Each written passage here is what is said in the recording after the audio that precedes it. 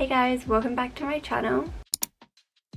Today we're going to be attempting to do the viral low contrast, high contrast, like finding your contrast makeup. This has been going viral on TikTok, like everyone's finding their contrast levels and then doing their makeup accordingly.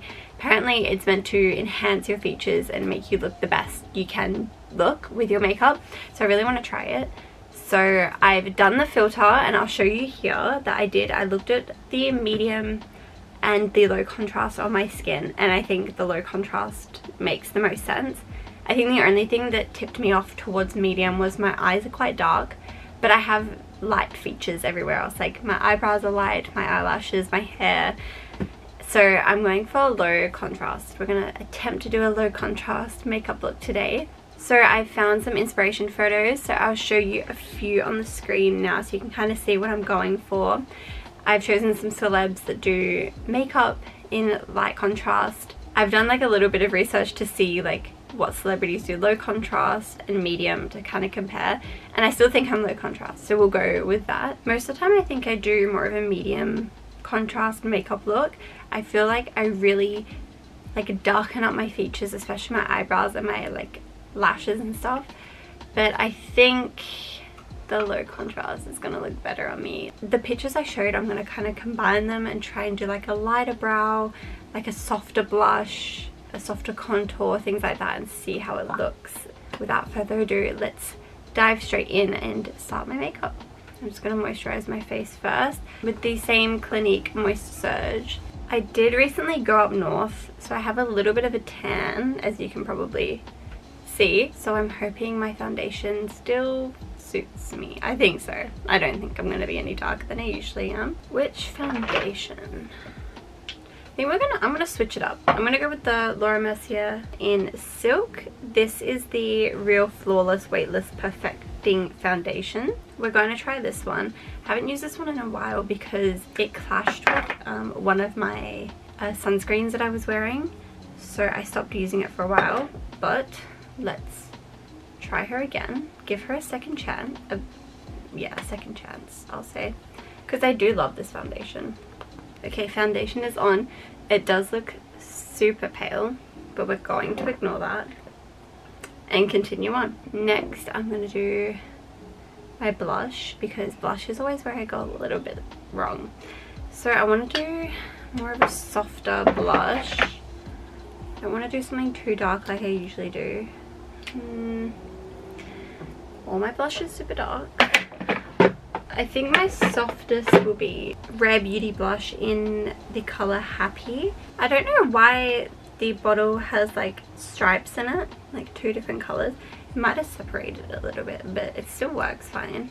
I'm going to put the blush on my hand to try and minimise the amount I use. Let's go in with a little bit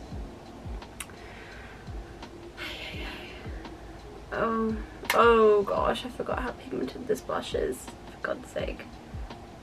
It's fine, it's fine, we can do this, it's fine. Oh, it's fine, it's not, it's not, it, mm. Okay, I think that's enough blush, because we don't want to go too intense. I have so much still on my hand. What a waste. We're going to do my eyebrows, but I don't have a light colour to do my eyebrows with, so we're going to use my Huda Beauty palette we're going to use one of the shades in here. First I have to wet my brush with a little bit of setting spray. And we're going to go in with Musk because that is a softer colour. Right, we'll see. We'll see if this is completely terrible. Okay, it's not very soft. oh. it doesn't look like you. So let's try and get this eyebrow to work. Okay, I think it's the best I'm going to get with my eyebrows. Being softer. They still look kind of dark, but I don't know what else I can do. Okay, we're going to use some... Okay, I just used the Hourglass Arch Brow Gel just to kind of fluff them up, make them look a little bit more natural. Now I'm going to set my foundation with the same Laura Mercier setting powder.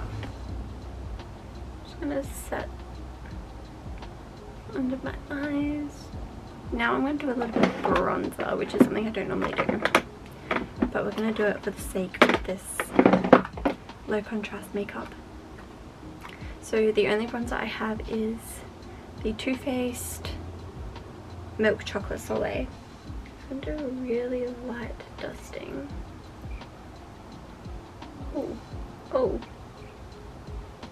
Blush my ear. I genuinely don't know if that made a difference at all, but I did it. I am going to apply a little bit of blush. We're going to use the Judy Doll Dual Color Combination Blush and we are going to use, there's two colors in here. I don't know the names of them, but we're going to use the lighter one. The very soft pink one. Perfect. Cute. We are going to do a little bit of highlighter. We're going to go in with the MAC Soft and Gentle highlighter. An OG. If you know, you know. This was the highlighter. Just a very subtle amount of highlighter, like it's not too much. I'm going to add a bit more though.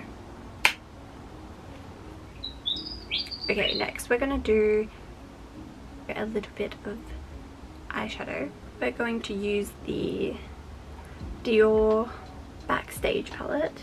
I'm going to go in with only a very light dusting of this little colour here, which is Orange Shimmer. It doesn't shimmer at all, but it's pretty. Oh goodness. Big old crease.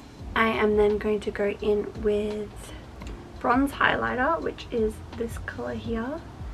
And that's just going to go in the corner of my eyes, just like this. To the eyes, I'm not going to do any eyeliner because I always do eyeliner. So I'm going to do just a very subtle bit of mascara. It's going to curl my lashes. And then we're going to use a little tester. We're to use a tester of the Laura Mercier Caviar Extravagant Mascara. Look at this brush. She is thick. That's pretty. That's really pretty. I like that. It's very subtle.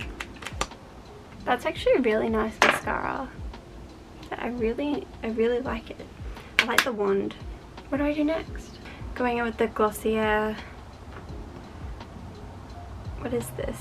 Hydrating shine i don't know what this product is called but it's in the color lucite. So we're gonna put this on apparently without a mirror. This is such a soft hydrating product. I really enjoy it. It's really really nice. I love it. And it adds just a little bit extra to the look not making it like too much or too heavy just quite light still last step obviously is the charlotte tilbury airbrush setting spray. This is the final look for today. I think it looks really nice. What do you guys think? I always kind of do something like this. I just add some eyeliner and a lot more blush. I normally have like 10 times more blush than this on my face and I never wear bronzer. but I think it looks really pretty. I think it's really nice and summery. I think it'll be a great look for summer actually which is coming up. So that's perfect. Thank you guys so much for watching and i hope you enjoyed me trying out this low contrast look. And i will see you guys next week with a new video. Bye